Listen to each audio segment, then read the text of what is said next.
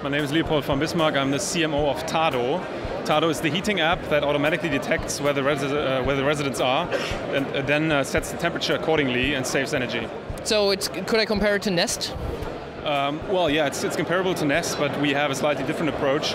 So our focus is uh, based on software. Um, so we have a small connector kit that you uh, can use to lift your heating system in the cloud, but then everything takes place in the, in the, in the cloud basically. And um, so what we have is the geolocation. So when you leave the house, the temperature automatically uh, will be lowered to save energy, and then when you come back, uh, it all, it's already heated up, so it's warm when you arrive without you having to push a single button. So you just said that you are a software company.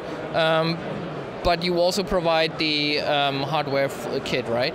That's right, yeah. Um, I mean, the software is in the center of, of, uh, of the user, um, but we have a connector kit that's independent of the manufacturer and the age of the boiler. So it can be connected to almost any boiler across Europe.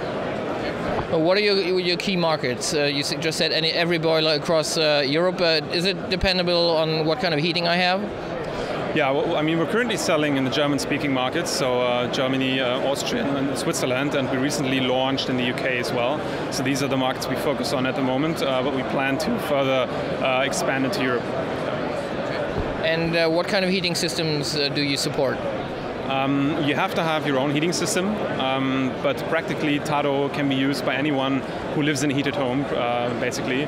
So based on your heating system, uh, we have a special connector kit that you can use to connect your heating system to the servers. Uh, why do you think the Seven Ventures Pitch Day um, is a good fit? Uh, if, you, for example, if you win, uh, what would you do with the media volume? How does it fit your strategy?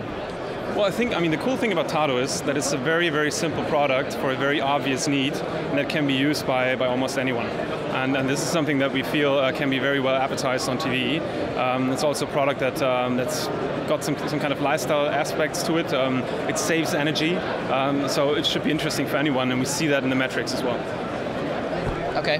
Um, you closed a round of funding, or you announced uh, uh, funding in May. Uh, can you talk a little bit more about that? Yeah, so um, we, we closed this uh, round a couple of months ago with our existing um, VCs, target partners, and Shortcut Ventures um, from Germany. And um, yeah, so uh, this is this is something that we closed, but um, I mean we're still looking for more money in the future. Um, after the fundraising is before the fundraising, we say in Germany sometimes. Okay. I was uh, wondering, what are your plans with with those funds? I mean, I think you uh, raised 2.6 million dollars. Uh, what does that enable you to do?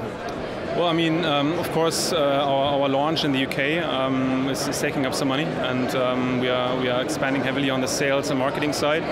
Um, and also, I mean, the, the product needs further development um, to further increase the compatibility with heating systems.